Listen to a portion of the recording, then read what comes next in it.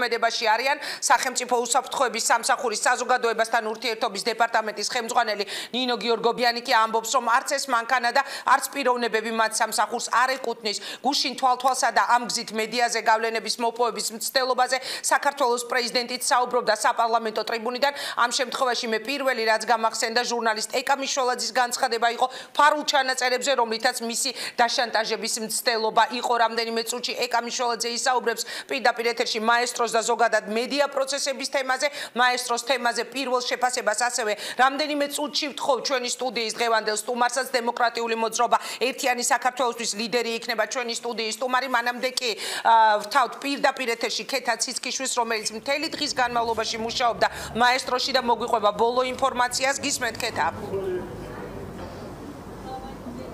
დიახინგა რამდენიმე წუთის წინ ბაია გადაბაძემ ჟურნალისტებთან პირად საუბარში დაადასტურა რომ ის ხო ამერიკის საელჩოში მივიდა მათ გააცნობს ტელეკომპანია მაესტროში მიმდინარე პროცესებს. ასევე ბაია გადაბაძემ დღეს ჟურნალისტებთან რამდენიმე წუთის წინ ჟურნალისტებთან განაცხადა რომ ეს შენობა არის მაკასათიანის მფლობელობაში და ამ შენობაში ვერავინ შევა და ვერავინ დაიწყებს ტელევიზიის მართვას. ასევე ბაია გადაბაძემ ისევ გაიხსენ ისევ ახსენა რომ ეს შეიძლება იყოს პოლიტიკური დაინტერესება. მან ისევ ირაკლი რუხაძე გაიხსენა და შეგახსენებთ რომ ირაკლი რუხაძე არის სწორედ ის პიროვნება რომელმაც გიორგი გაჩეჩილაძეს ასესხა ფული ტელეკომპანიის წილების საყიდლად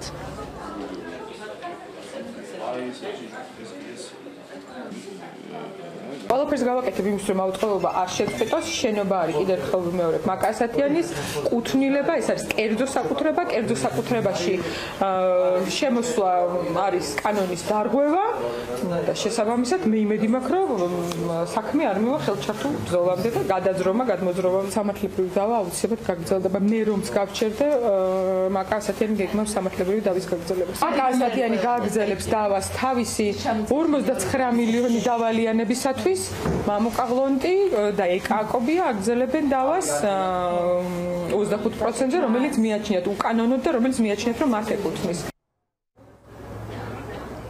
ასევე ჟურნალისტებთან ისაუბრა მამუკა ღლონტის წარმომადგენელმა, მან ისაუბრა წილებზე, კონკრეტულად მამუკა ღლონტის წარმომადგენელი განმარტავს, რომ სანამ გიორგი გაჩეჩილაძე 55%-იანი წილის მფლობელი გახდებოდა, მას ჰქონდა 25%.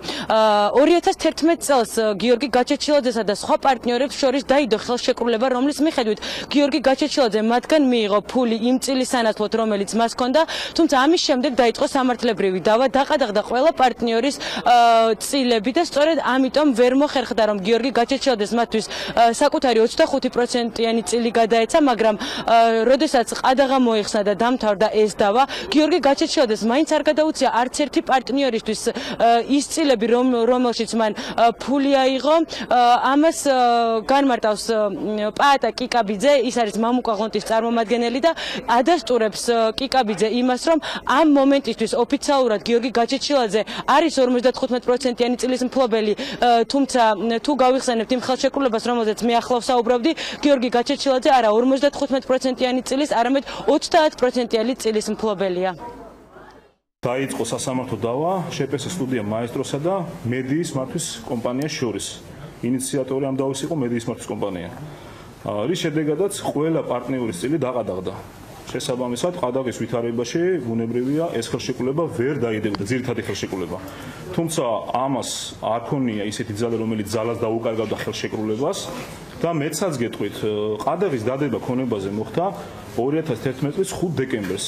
ანუ ხელშეკრულების ძირთადი ხელშეკრულების დადგომის პირობიდან 5 დღის შემდეგ და ამის შემდეგ იგივე პარტნიორებმა ყველამ აბსოლუტურად გააფორმეს კრების ოქმი 2012 წელს ეკაკობია მამუკა აბსოლუტურად ყველამ ღლონტი კიდე მამუკა ღლონტმა ეკატერინე აკობია ლევან ჩიკვაიძემ გიორგი ნებრალიძემ გიორგი გაჩეჩილაძემ მისი მმართველის სახით მაშინ მინდობილი პერი ყავდა და გააფორმეს ეს ხელშეკრულება რომლითაც იმის გამო პირდაპირ დათქმები აქვს მოცემული, რომ ქონებაზე სასამართლო განჩინებით იყო ყადაღა დადებული, გადაავადეს ამ ხელშეკრულების შესრულების ვადა მას შემდეგ, რაც ყადაღა გაუქმდებოდა. თუმცა მინდა გითხრათ, სულ რომ არ ქონოდა ადგილი ამ ცვლილების ამსახველ დოკუმენტს, მაინც თავისთავად ყადაღის ფაქტმა განაპირობა ის, რომ ხელშეკრულების შესრულება გადავადა ყადაღის გაუქმებამდე.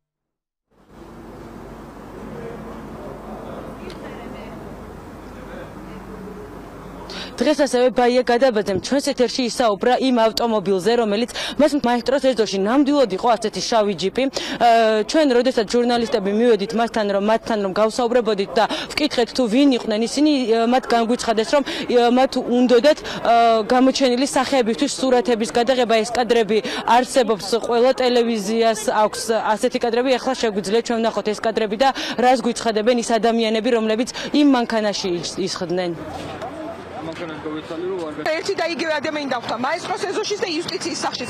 შავი ჯიპით რომელიც არის უკვე რაღაც საკრალური. ნომრები დაიხახსოვრე?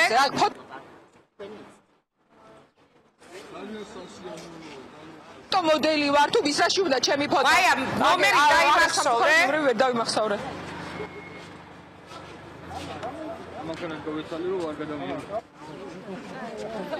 რადი რადი კომპიუტერის მაღაზია გვერდი შეგიძლიათ